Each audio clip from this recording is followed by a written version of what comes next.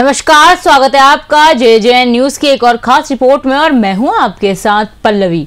उधम सिंह नगर से एक चौंकाने वाली खबर सामने आ रही है, जिसमें अवैध खनन का बोलबाला हो रहा है। अवैध खनन को लेकर कई बार वर्चस्व और आपसी संघर्ष की घटनाएँ सामने आती रहती हैं। ऐसे में काशीपुर से ये मामला एक बार फिर सामने आ रहा है, जिसमें आईटीआई थाना क्षेत्र के अजीतपुर में गाँव वालों और खनन माफियों का आपस में खूनी संघर्ष हुआ। इसके साथ ही अजीतपुर के लोगों ने कहा कि उत्तर प्रदेश के घोसीपुरा के खनन माफिया अवैध खनन कर अपने वाहनों को लेकर अजीतपुर क्षेत्र से निकलते हैं, जिस वजह से पिछले कई दिनों से वे लोग अवैध खनन से हो रहे धूल प्रदूषण और हादसे के कारण धरना प्रदर्शन कर रहे हैं। बता दें कि रविवार शाम को अचानक कई वाहनों से 100 से 150 लोग असले लाठी और डंडे लेकर धरना वाली जगह पहुँच गए, जिस समय गाँव के 15-20 लोग ही धरना स्थल पर बैठे थे, जिसके बाद हथियारबंद लोगों ने आते ही इन लोगों से मारपीट और फायरिंग शुरू कर दी और ये फायरिंग लगभग आधे घंटे तक चली, जिसमें चार पाँच लोग घायल हो गए और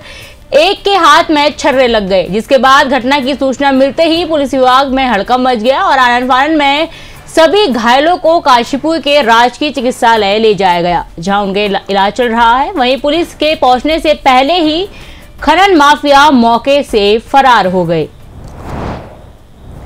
फ़िलहाल की इस खास रिपोर्ट में बस इतना ही। ऐसी ही तमाम खबरें देखने के लिए देखते रहे जे न्यूज़। धन्यवाद।